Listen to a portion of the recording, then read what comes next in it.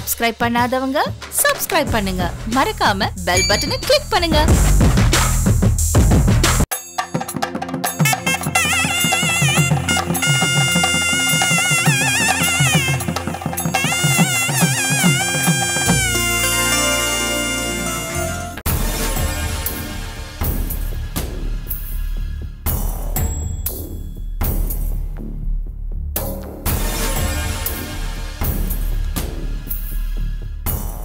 பெரிய குடும்பத்துல பிறந்துட்டு கடைசியில தவிச்ச வாய்க்கு தண்ணி கொடுக்க ஆள் இல்லாத அளவுக்கு தனியாள் ஆயிட்டிய பிரசாத்.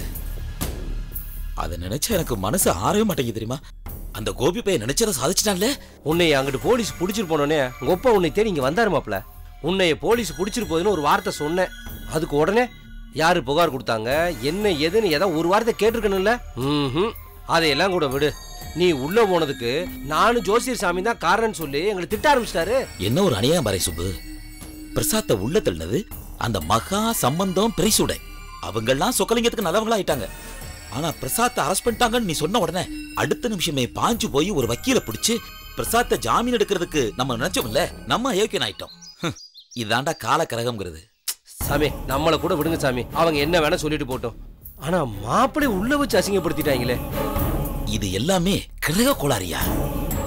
அதான் நான் படிச்சு படிச்சு சொன்னேன். அந்த கோபியோட காத்து கூட உன் மேல படக்கூடாதுன்னு. ஜாக்கிரதையாயிரு பிரசாத் அப்படின்னு நான் திரும்ப திரும்ப சொன்னேன்.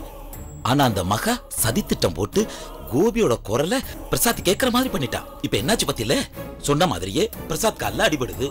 பிரசாத் போலீஸ் ஸ்டேஷன் வரைக்கும் போய் நிம்மதி இல்லாம இருக்க வேண்டியதாயிருச்சு. நான் சொன்னதுக்கு பிரசாத்தோட சம்சாரம் கேட்டுச்சு. என்ன நடக்கும் என்ன நடக்கும்னு கேட்டுச்சே. ஆ, இப்ப என்னெல்லாம் நடந்துச்சுன்னு பாத்தில்ல அந்த மகா பண்ண வேலையினால மாப்பிள்ளைக்கு என்னென்ன பிரச்சனைங்கிறது கூட விடுங்க. அது மகாக்கே இப்ப பிரச்சனையால வந்து நிக்குது. மாப்பிள்ளை சேர்ந்து இருக்க முடியாம பிரிஞ்சு அம்மா வீட்டுல போய் இருக்கிற மாதிரிலாம் ஆயிப்போச்சு. மகாட்ட கூட நீங்க அன்னைக்கு சொன்னீங்க. இதையே தான் சொன்னீங்க. ஆனா ஒண்ணு கூட கேட்கலையே. முன்ன கூட இப்படிதான் சொன்னீங்க. அதை கேட்காம சம்பந்தம் காயத்ரி ரிசப்ஷன்ல கோபிய பார்த்துச்சு. அதோட கர்ப்பம் கலைஞ்சு போச்சு. இப்ப புருஷனும் இல்லாம வீடும் இல்லாம அம்மா வீட்டுல போய் உட்கார மாதிரி ஆயிப்போச்சுல்ல? இதெல்லாம் அதுக்கு தேவையா? சரி விடு. நம்ம எவ்வளவுதான் சொன்னாலும் எல்லாரும் கேட்பாங்கன்னு சொல்ல முடியுமா? கேட்கறவங்க தான் கேட்பாங்க. பிரசாத் கேக்குறவன் மகா கேட்காதவ. அவளுக்காக நம்ம வருத்தப்பட்டு என்ன பண்ண முடியும்? சொல்லு.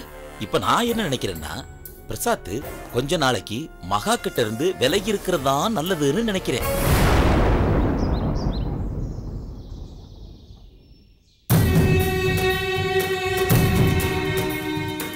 ஏ சாமி கிரகப்பிரவேச நாள்லேருந்து நான் அசிங்கப்படுத்திட்டு இருக்கா?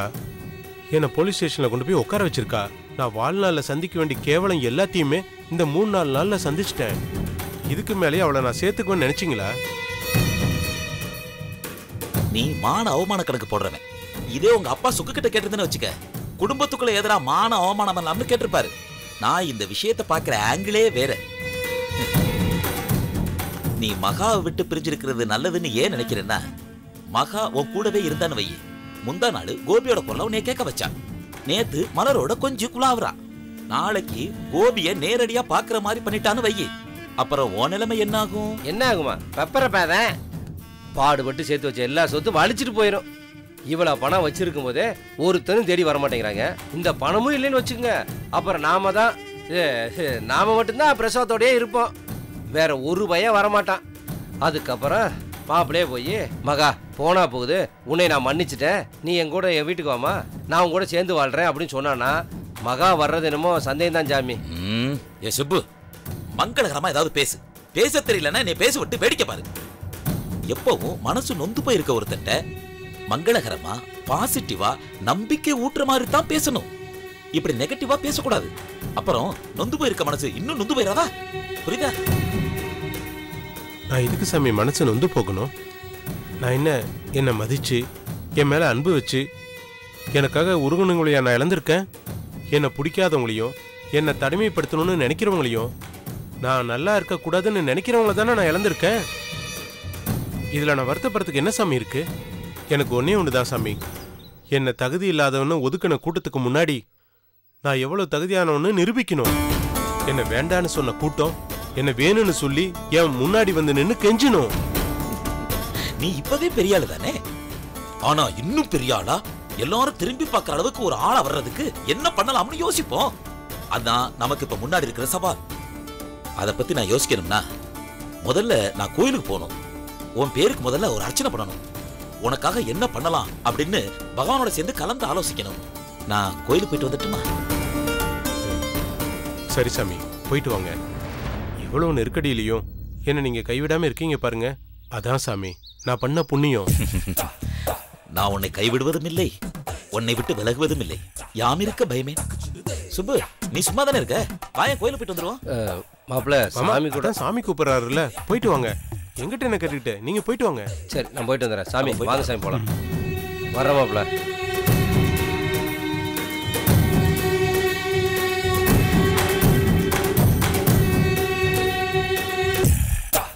ஏன் சாமி? இப்போ நம்ம எந்த கோயிலுக்கு போறோம்? ஏண்டா கோயிலுக்கு போய் உண்டை கட்டி திங்க வானே கூட்டிட்டு போறேன்? ஏன் சாமி? நீங்க இன்னும் இந்த குண்டை கட்டி வாங்கி திக்கிற பழக்கத்தை விடவே இல்லையாட்டிருக்கு சுப்பு. சரி சாமி. நீங்க இப்ப என்ன கோயிலுக்கு போக கூப்பிடல. வேற எதுக்காக என்ன கூப்பிட்டீங்க? இந்த பிரசாத்தோட போக்க பத்தி பேசத்தான். ஏன்? இப்ப என்ன அதுக்கு? ஏய் அவன் போக்கே சரியில்லடா. அவன் என்ன பேசுறான்னு பாத்தியா? எப்பயும் போல புலம்பிட்டு தான் இருக்கான். இப்ப என்ன புதுசா இருக்கு? போடா முட்டாள். இவ்வளவு நடந்திருக்கு. அவன் பொண்டாட்டி அவன் போலீஸ் ஸ்டேஷன் போய் உட்கார காரணமா இருந்திருக்கா? ஆட அவன் எங்க சாமி உட்கார வச்சா? நம்மள அப்படி ஏத்தி விட்டோம். ஏத்தி விட்டது என்னமோ உண்மைதான்டா. அவனை பொறுத்த வரைக்கும் அவன் போலீஸ் ஸ்டேஷன் போய் உட்கார காரணம் அவன் பொண்டாட்டி. அப்படித்தானடா? சரி இப்ப என்ன அதுக்கு சொல்லுங்க? ஆனா அப்பேற்பட்ட பொண்டாட்டி மறுபடியும் நம்ம தேடி வருவான்னு நம்புறான்டா. நம்பலாமா அப்படி? தன்னை போலீஸ் ஸ்டேஷன் கொண்டு போன பொண்டாட்டி வேணாம்னு நினைச்சிருக்கணும். அதை விட்டுட்டு அவ உண்மையை உணர்ந்து திருந்தி வந்துருவா. அன்னைக்கு அவளை சேர்த்துக்கலாம்ல இவன் நினைச்சுக்கிட்டு இருக்கேன். ஆமால்ல. என்ன நோமா இல்ல மூதேவி. பேசிக்கிட்டு இருக்கப்ப எல்லாத்தையும் என்ன பேசுறாங்கன்னு கவனிக்கணும்டா. அத கூட உனக்கு சொல்லிட்டே வரப்பாங்க அவன் பொண்டாட்டி மகா திரும்பி வந்துட்டான்னு வையி. அப்புறம் பிரசாத் வீட்டுல உனக்கு சோறு கிடையாது. சாமி என்ன சொல்றீங்க? ஏய் அவன் பொண்டாட்டி வந்தா உனக்கு சோறு கிடையாது. ஒட்டுமொத்த குடும்பம் ஒண்ணு சேர்ந்துட்டாங்க. எனக்கு சோறு கிடையாது. என்ன சாமி இது? பயங்கரமான வாழ்வாதார பிரச்சனை எவ்வளவு போச்சு அப்படி ஆக விடப்படாதடா சுப்பு. சரி சாமி இப்ப அதுக்கு என்ன செய்யணும் சொல்லுங்க. ஏய் அவன் குடும்பத்தை தள்ளி வச்சுட்டு இவன் பக்கத்துல நம்ம குளிர்காயலாம்னு நினைச்சோம். ஆனா இவன் அதுக்கு ஒத்துவர மாட்டே போட்டிருக்கே. மறுபடியும் மறுபடியும் குடும்பத்தை நினைச்சு புலம்பிக்கிட்டு இருக்கானே. எப்ப வேணாலும் குடும்பத்தோட ஒண்ணு சேர்ந்தா நம்ம நிலைமை ரொம்ப சிக்கலாயிரும். அதனால அப்படி ஏதாவது நடக்கிறதுக்குள்ள இவன் தலைய முழுசா தடவிடணும். எப்படி சாமி? நூறு ஐநூறு ரூபாய் வாங்குறது பதிலா ஒட்டு மொத்தமா அடிச்சு இவனை காலி பண்ணிடலான்றே. என்ன சொல்ற? ஆமா. வர்றதுல ஆளுக்கு பாதி 50 50 யோ, என்னையா நினைச்சிட்டு இருக்க? என் மாப்பிளை மொட்டை அடிச்சு அதுல எனக்கு 50 50 கொடுப்பியா? என்ன மனுஷன் நீ? வர்ற ஆத்திரத்துக்கு அப்படியே விடு ராஸ்க தொலைச்சிரும் உன்னை தொலைச்சு? அடிக்கிறது என் மாப்பிளை சொத்து? அதுல உனக்கு பாதி எனக்கு பாதியா? இங்க பாரு. நீ வேத்தாளு. நான் என் மாப்பிளையோட தங்கச்சி புருஷன். உன்னை விட எனக்கு தான் உரிமை ஜாஸ்தி. அதனால உன்னை விட எனக்கு தான் அதிக பர்சன்டேஜ் எனக்கு தான் அதிகமாக கொடுக்கணும். சிக்ஸ்டி ஃபார்ட்டி என்ன சொல்ற? அட பிரசன்டேஜுக்கு பிறந்தவனே. இதுக்கு தானா இந்த குதி குதிச்ச? எனக்கு திக்குன்னு இருந்துச்சு. என்னமோ நல்லவனாயிட்டியோன்னு நான் நினைச்சேன். நல்லவனா என்ன சாமி பண்ண முடியும்? ஏய் திட்டம் போட்டவன் நான். அதை செயல்படுத்துறவன் நான். ஏய் மூளை என்னோடது. வேலை என்னோடது. பிரசாத் எனக்கு கிச்சான் பிரசாத் எனக்கு மச்சான் எங்க போனாலும் கேட்ட போடுறானே. ஏன் தேவா ஜோசியரே நீங்க இப்படி திட்டம் போறீன்னு என் மாவட்ட போய் சொன்னேன்னு வச்சுக்கோங்க. அப்பவே நீங்க காலி. ஏற்கனவே மகா உங்களை பத்தி நிறைய பத்த வச்சிருக்கா. இப்ப நானும் போய் பத்த வச்சேன்னு வச்சுக்கோங்களேன். என்ன பத்தி தான் உங்களுக்கு தெரியுமே. நான் எப்படி பத்த வைப்பேன்னு? பார்த்து இருந்துக்குங்க பத்த வச்சுக்கோ. ரைட்டு பத்த வைக்கிறேன்னா தெரிஞ்ச அலையிறியே. அத சொல்லலடா. நீ எக்ஸ்ட்ரா கெட்டிய பத்து பர்சன்ட் அத வச்சு தொலைச்சுக்கடா. அத வச்சு தொலைச்சுக்க நீங்க அப்படி சொன்னீங்களா?